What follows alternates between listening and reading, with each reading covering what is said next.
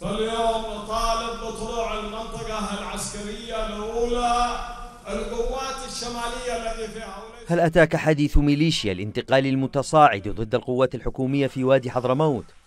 ذلك الحديث الذي لم يخلو من العنصرية والمناطقية والتحريض المستمر ضد قوات المنطقة العسكرية الأولى وأبناء حضرموت والترويج المستمر له عبر القنوات التابعة للميليشيا ليل نهار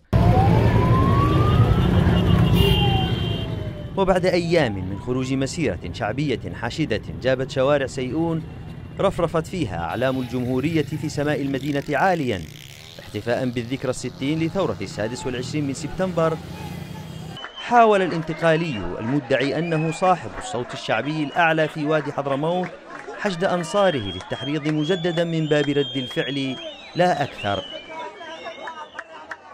وعلى نفس الوتيرة تحاول الميليشيا إلصاق تهمة وشماعة الإخوان بقوات الجيش في وادي حضرموت.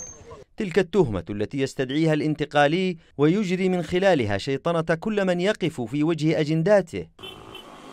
تصعيد الانتقالي في المحافظات الشرقية عامة وفي وادي حضرموت خاصة يتزامن مع خلافات عميقة بين أعضاء مجلس القيادة الرئاسي المشكل من السعودية والإمارات عقب أحداث شبوة الأخيرة.